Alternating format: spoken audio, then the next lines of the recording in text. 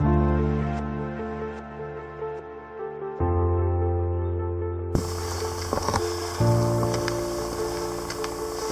ben voilà, on est sous la voûte du barrage de Montvoisin, 1800 mètres. Et l'objectif du jour, c'est le pleureur euh, à 3700 mètres. Une rando euh,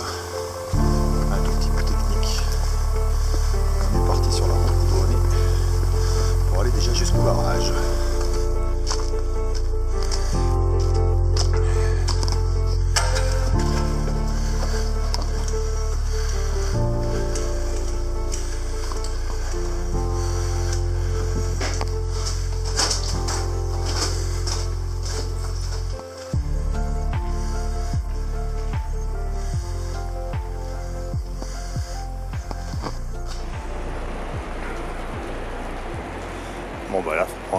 les échelles.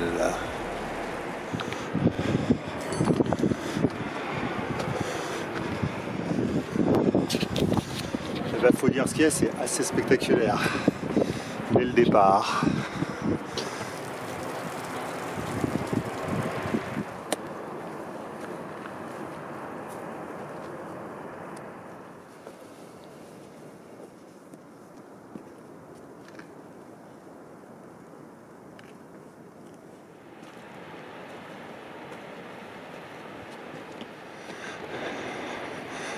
Et ben ça, c'est l'échelle à ne pas prendre.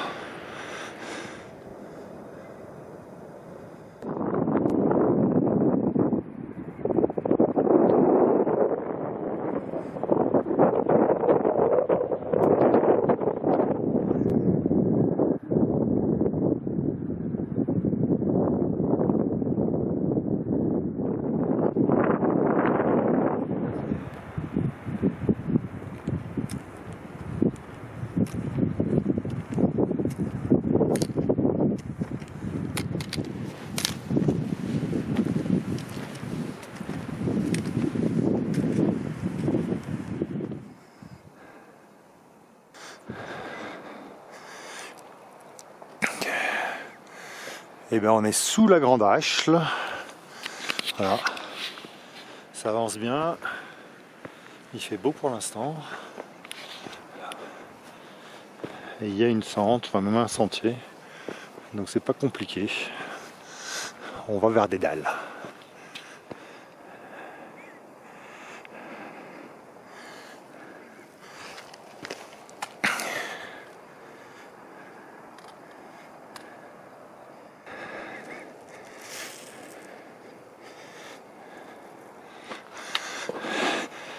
Plus ou moins difficile.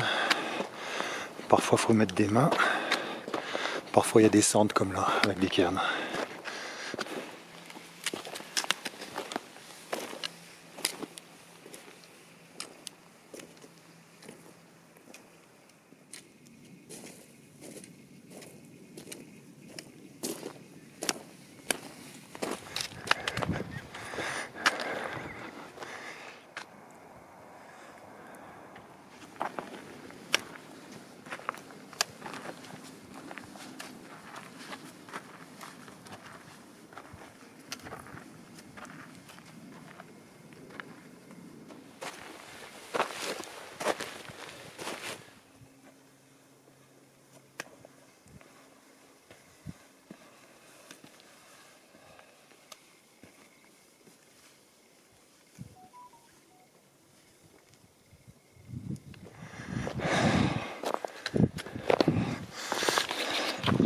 Et bien voilà, on a rejoint l'arête, il reste une centaine de mètres.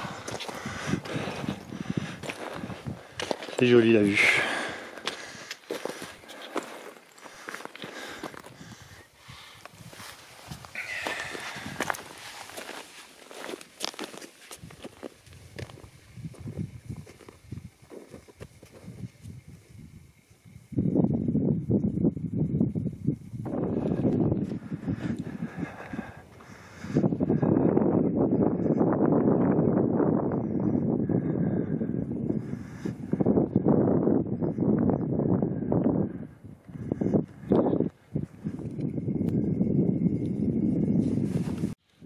Sommet du pleureur, 3007.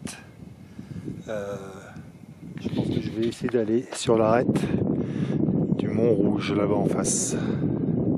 Ici. C'est parti pour la descente. on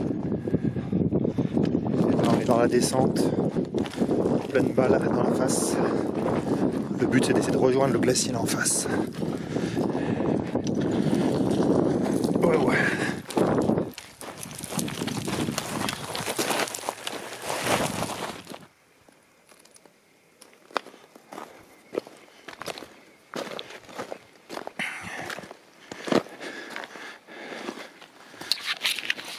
Et ben c'est la descente de ce gros tas de cailloux.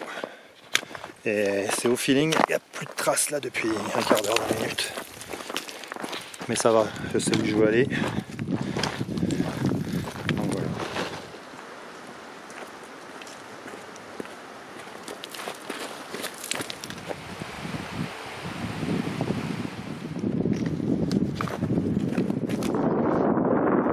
On va arriver au glacier de Gietro.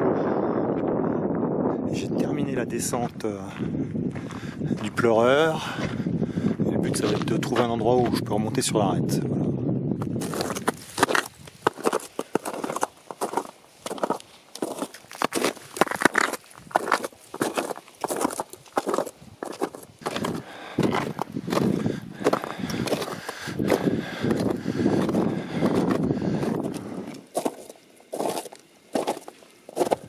Le pleureur d'où on vient. C'est impressionnant. Pourtant c'était pas si dur que ça. Et là on va là. Et c'est impressionnant aussi mais moins. On verra comment c'est sur place. Un peu de grimpe, ça va être marrant.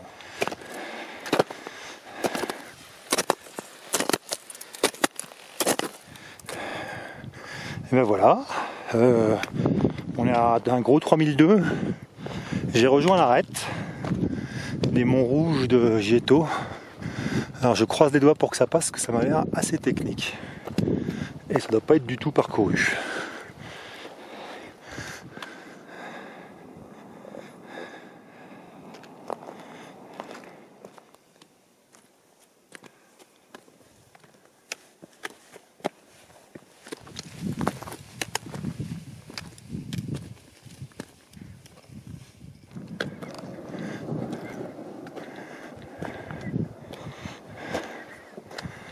Et ben voilà, on arrive au premier sommet des monts rouges de Gétro.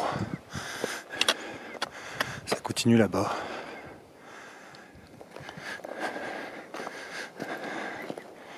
Là, on est sur une partie facile de l'arête. Et là-bas, il y a une partie moins facile de l'arête. Il va falloir grimper un petit peu. Le rocher est de qualité douteuse. Et bien, dans le petit passage d'escalade là pour rejoindre l'arête, ça va aller. Attention, il y a beaucoup de pierres qui ne tiennent.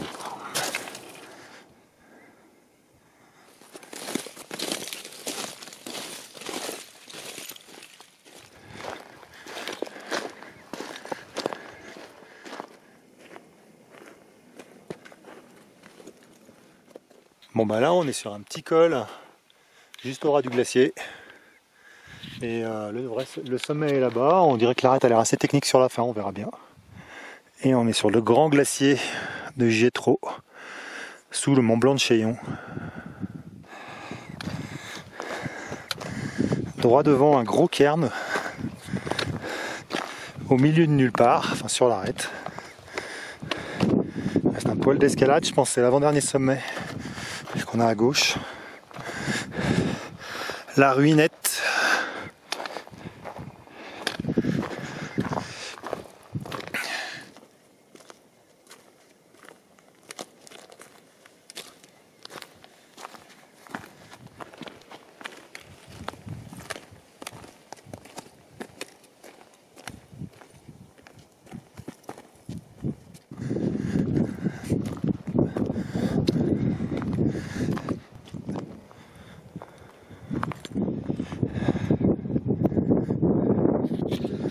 Ouais, me voilà a priori au point le plus haut de l'arête des monts rouges de Gietro.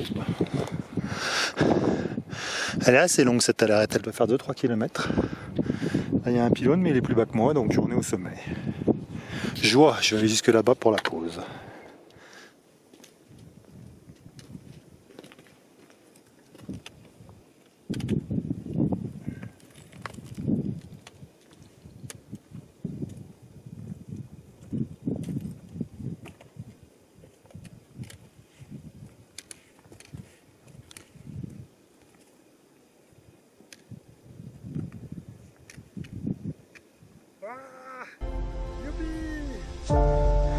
Ben là, il y a une sorte de chaos difficile à passer, mais qui est passé. Parce qu'en fait, il y a l'énorme pierre en bas sur le glacier qui est tombée il n'y a pas très longtemps, je pense.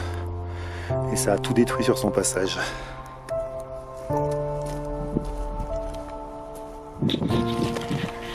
Et ben me voilà au col de l'Ire Rose, petit coup de stress parce qu'en fait ça descend pas côté Chorion. Euh, je peux pas remonter à l'épaule, ça m'énerve.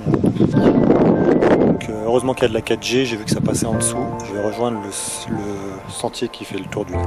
Voilà. Euh, pour le reste tout va bien. On vient de tout là-haut. À gauche les monts rouges et à droite la ruinette. Bon la descente est. C'est pas la plus belle descente des Alpes. Mais là j'ai rejoint l'herbe, ça devrait. On devrait retrouver le sentier dans pas longtemps. Descente du col de l'Ire Rose par euh, des pierriers, des couloirs de cailloux. Là-bas, c'est le pleureur on est tout à l'heure. Ça commence à faire un moment. Et bah bonne nouvelle, j'ai retrouvé le sentier.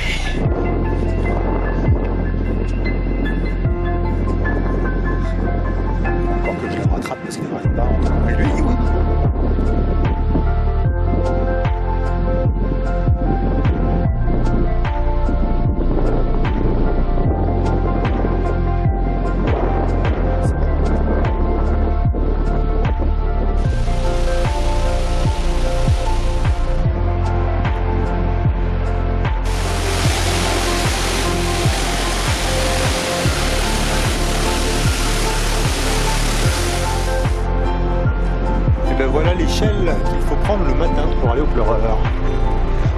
Il y en a une autre plus grande au-dessus. Et nous on va de tunnel en tunnel pour arriver au barrage et on y arrive dans 3 minutes.